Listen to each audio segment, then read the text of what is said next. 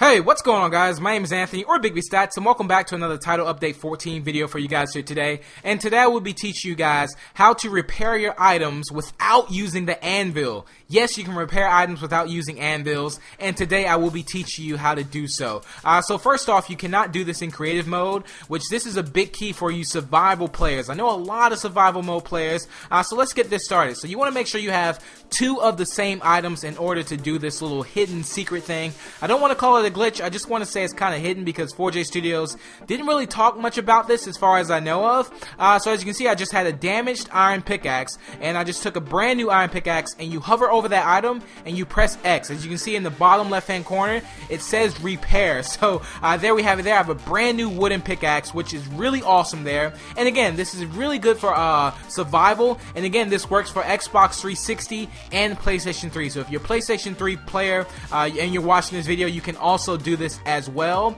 Uh, and I'm going to do the same thing with the diamond pickaxe. You can see it's damaged. I hover right over it and I press X. And this is just absolutely awesome. And if you're a survival mode player, this thing is just for you. And let's say you're like in a cave fighting off mobs. You're not able to have the resources to make an anvil um, and you just can't, you know, repair your weapon or anything like that, this comes in handy. And your anvil's like back of your house. You can just repair your weapons whenever. Now, the difference between this and an anvil, let's say I had a damaged iron sword or something like that, and I had an iron ingot. If I put that in the anvil, I could repair it. I don't need another iron sword or something like that. Uh, but with this one, you have to make sure that you have a duplicate of the same weapon in order to repair it. So I'm going to repair all three weapons here. But again, this works for both consoles. I hope you guys did enjoy today's video. If you found it helpful, drop it a like. It really shows your support. And be sure to subscribe to stay up to date with the latest Minecraft console news and more. Also tutorials. And until the next, I will talk to you guys later. Peace out, and I hope you found this helpful.